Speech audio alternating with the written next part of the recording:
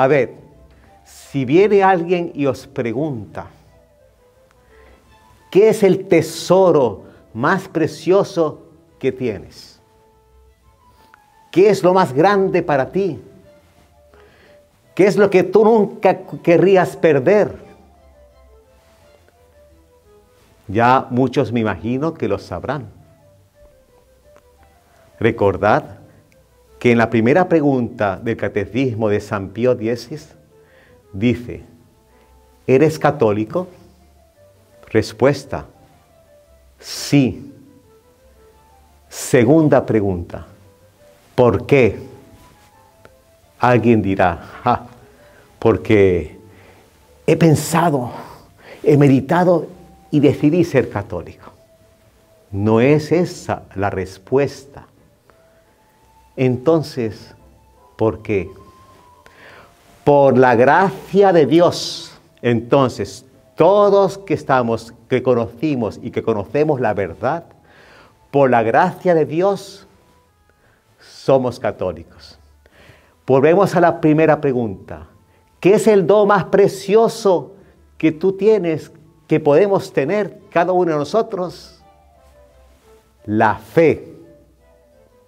La fe es lo más precioso y hay que cuidarlo más que un tesoro, más que mi corazón mismo. La fe es algo muy, muy, muy precioso que siempre tenemos que ejercitar. Nunca podemos parar en crecer en la fe. Y un consejo antes de una introducción que estoy haciendo, un consejo. Cuando viene tentación con respecto a la fe, hay tres actitudes que uno tiene que enfrentar a la tentación. Una es enfrentar. Otra es huir. Otra es ser diplomáticos. Aquí los teólogos y los santos dicen, con respecto a la fe hay que huir. Es decir, es decir, repito, la tentación contra la fe hay que huir, igual que la tentación contra la pureza. En fin, ahora vamos ahora a nuestra historia.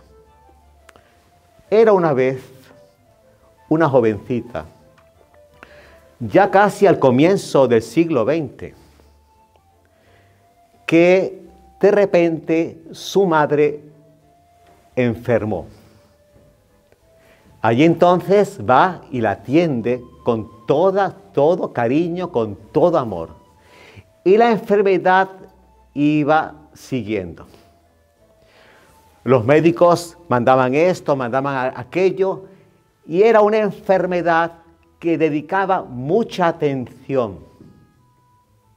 Y ella, que quería mucho a su madre, empeñó todo, todo para atenderla. Va un mes, va dos meses. El jefe del trabajo le dice, jovencita, o vienes a trabajar o tendré que contratar a otra y no te podré más, eh, no podrás atenderme más en el trabajo. Ella tuvo confianza, fue para adelante y tenía mucha esperanza de que su madre mejorase. Pasaron así los días y en un día perdió tres cosas. Fijaros, eran tres cosas que ella estaba apegada. Por lo tanto, era para ella la vida. Y no es así las cosas. Nosotros no podemos apegarnos a nada de este mundo. ¿Y qué fue lo que, estaba pegado? Perdió tres cosas que para ella era su corazón. Perdió a su madre, la madre murió. Perdió el empleo y perdió el dinero. Tuvo que pagar la hospitalización, tuvo que pagar los, los medicamentos y se quedó sin nada. Así pues, teniendo esa situación le llevó a la desesperación. Se fue a la casa del campo que tenía, un edificio en la planta de abajo, cerró todas las ventanas, puso dentro del salón, separando todos los muebles, dejando apenas hierba y hojas verdes para crear mucho humo, sellando todas las ventanas, se, se acostó en el sofá y esperó el momento. Una amiga de ella dijo, es verano, seguro que mi amiga está en la casa del campo, en el edificio de la casa del campo. Voy a verla, que tengo tiempo. Toca el timbre, toca la puerta y nada. Allí llama a la conserje y le pregunta, oiga, ¿mi amiga está aquí? Sí, sí, ella está allí. Ha llegado hace pocos días porque su madre estaba enferma, pero le,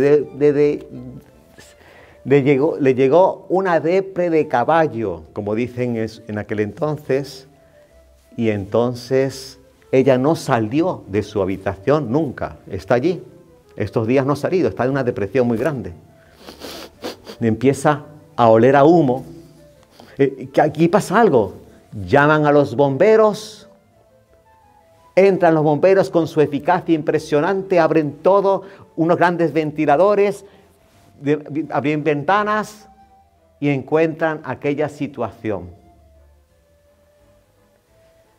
El la conserje dijo, arriba hay un médico, que está ahora de vacaciones, que está aquí, voy a llamarlo. El médico fue, vio la situación, la comprendió, le sacó el pulso aquí, acá, los ojos y dijo, por favor, facilitadme una sábana. Cuando fue a cubrirla, llegando a la altura de los pechos así, dijo, no, perdón, facilitadme dos palos, dos palitos. Y empezó desde los pies, así, hasta, hasta que iba diciendo, despierta, despierta, despierta. Y ahí despertó, abrió los ojos. Todo el mundo, admiración. Y el médico explica, es que yo soy muy devoto a la Virgen del Carmen y yo conozco la historia del escapulario. Y cuando voy a cubrirla, descubro que se asoma el escapulario. Y digo, o una de dos, o la Virgen mintió, o yo estoy equivocado. La Virgen nunca miente. Yo soy hombre, puedo equivocarme. Por lo tanto, estoy equivocado. Ella no murió. Ella está viva. Ella está durmiendo. Y entonces el médico fue a despertarla. Bonita historia, bonita historia. Esto nos enseña aquello que dice el Evangelio. La fe hace milagros. Y para que no me creáis, Aquí lo voy a leer en nada. Aquí dice, por poder de la fe de San Lucas, capítulo 17. Los apóstoles dijeron al Señor, aumentanos la fe. Y el Señor dijo, si tuvieras una fe como el tamaño de un grano de mostaza, dirías a esos a ese sicamoro, sicamoro es un árbol grande, puede crecer 20 metros de altura. Arráncate de raíz y plántate en el mar, y os obedecerá. Señores, niños, entonces sabemos que si hay fe, hay milagros. Dios interviene. Gracias a la fe de este médico, no, Dios hizo ese milagro para que así se mantuviera aquella promesa del escapulario. todo aquel que llevase mi, tilma, mi, mi escápula, ¿vale? Mi manto, con fe y devoción, yo lo asistiré y no morirá en pecado mortal. Recemos entonces por las buenas noches el Ave María y terminemos profundamente con esta noción de la gracia de crecer siempre en la fe. Nombre del Padre y del Hijo y del Espíritu Santo. Amén. Dios te salve María, llena eres de gracia, el Señor es contigo, bendita tú eres entre todas las mujeres y bendito es el fruto de tu vientre Jesús.